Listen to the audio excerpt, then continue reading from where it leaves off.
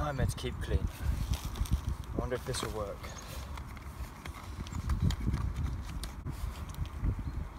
Yeah, that's it. That's it. That's it. Hi guys, welcome back to the Turismo Diaries and welcome back to my 2003 Toyota Celica.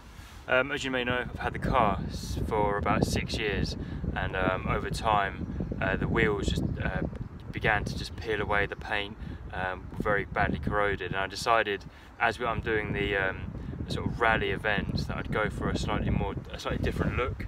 So I've gone for white had the work done by um, AutoWiz um, in Welwyn Garden City. Really, really good job. The wheels look completely off the shelf factory finish. Um, you would never think that these are a refurb. A refurb.